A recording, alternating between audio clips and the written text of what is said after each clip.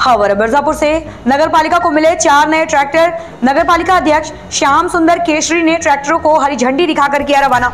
आपको बता दें नगर पालिका अध्यक्ष श्याम सुंदर केसरी सोमवार की दोपहर लालडीगी स्थित पालिका के जलकल परिसर पहुँचे, जहाँ तमाम सभासदों, अधिकारियों के बीच पालिका संसाधन से जुड़े चार नए ट्रैक्टरों का विधि विधान से पूजन अर्चन कर फीता काट कर और नारियल फोड़कर उद्घाटन किया।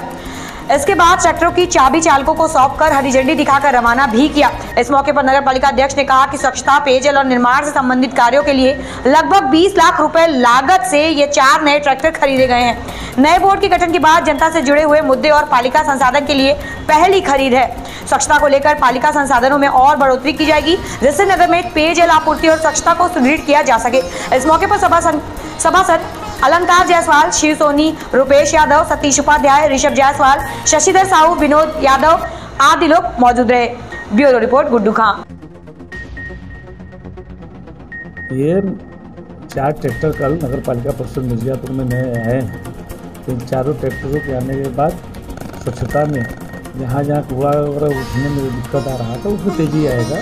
बाकी अन्य संसाधन भी अपने कर्मचारियों को जल्द से जल्द उपलब्ध करवाने वाले हैं।